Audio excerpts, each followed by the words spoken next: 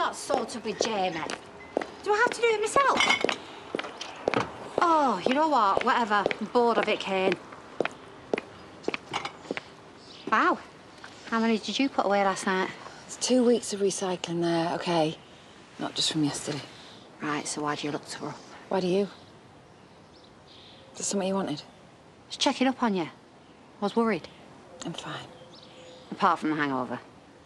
Well, I'm on my own now, so what does it matter if I want to sink a couple of glasses? You're not on your own. You need to stop feeling sorry for yourself, get your act together, and focus on what's important. Which is? Do I have to spell it out? Your kids and Sarah. We all know that you're upset over Vanessa, but this is starting to impact on them, and it's not fair. You're right. Shouldn't be dragging them down with me, should I? I'll fix it, don't worry.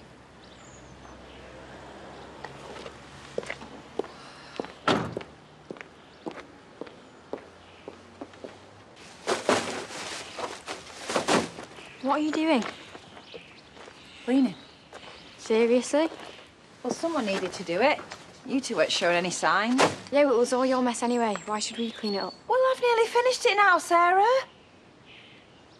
What's for lunch? What? Nothing. I'm starving. Yeah, me too. And there's the problem right there. I Didn't even think about that. I mean, I've got a bottle of wine in the fridge for me. That'll do me. But you two, I, I didn't even register. Thanks. Sarah, I'm having a meltdown here. Okay? I can't think about you two at the same time. It's fine, we'll look after ourselves. Been doing it my whole life anyway. I've had a little thought. I might ship you off to Cain's. What?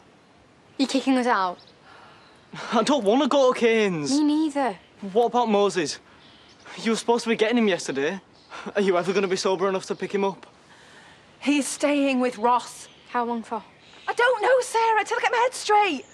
And right now, you two staying with Cain is best for both of you. No. Look, have you even asked him? Sarah, Well, I'm not going if she's not. I am doing this for your own good. No. You're not doing this for my own good. And I'm not going anywhere. You can't make me.